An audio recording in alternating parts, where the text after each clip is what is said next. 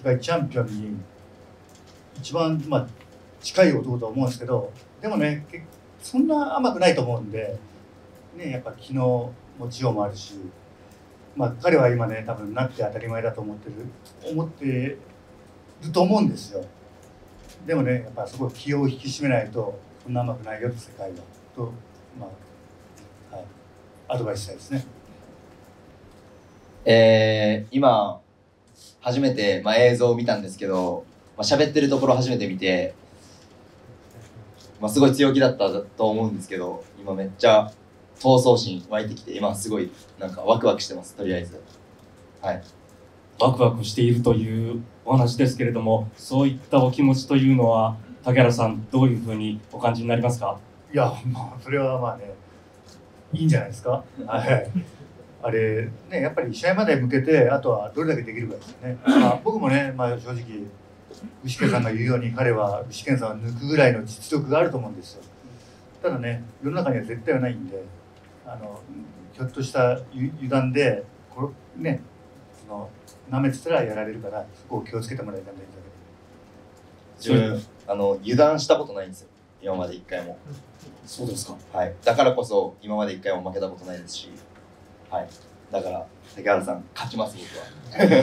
勝たせてまあまあまあまあ。油断っていうか、はい、次は世界のレベルだからね、はい、それだけの違いそれは分かってます。はい。その世界レベルを戦うという上でも、えー、目標にしているチャンピオンなど塩川選手目標とかっていうのは、えー、目標とかそう参考とかはありませんが、まあ、日本で一番活躍してると言ったら今井上尚弥選手でもう僕から見てももうありえないぐらい強いですしもう記録もすごいじゃないですか。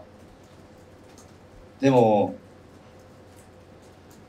その直哉選手ってパウンド・フォー・パウンド1位だと思うんですけど自分もマジでそこ狙っててもういろんな記録をこれから塗り替えていきたいと思ってますし、まあ、そこの中でもやっぱパウンド・フォー・パウンドは自分はどうしても気になりますしまあ、ミニマム級という中でもしそこでパウンド4パウンド1位になった時は、まあ、すごいことだと思いますし自分だったらなれます。なってみせます。頼もしいコメントが先ほどから飛び出しておりますけれども、はい、えー、今回世界タイトルマッチを最高ファイトで行うということについては重岡選手どういうふうに感じてらっしゃいますか？そうですね。今話題の最高ファイトで出れるのも嬉しいんですけど、まあ、昔から自分このこうきさんの試合をもう見て育ってるんでこうやってこうきさんと一緒に試合にですね一緒に臨めるのはもう自分としてめちゃめちゃ嬉しいありがたいことです。それにあと、まあ、ずっと本当小さい頃から世界ばっかり目指してきてもう本当に今回世界決めていただいて本当にありがとうございますと思います。願いします皆さんで最高こ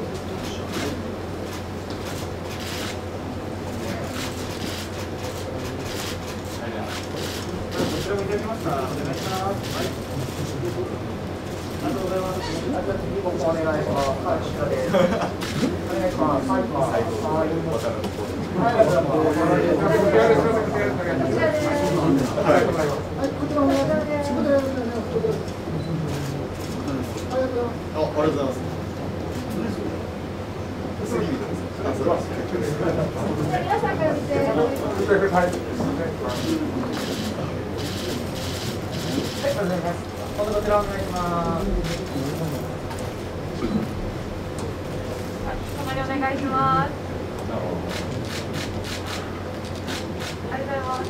では、そのままムービーカメラマンにお願いします。すいません、お座りいただき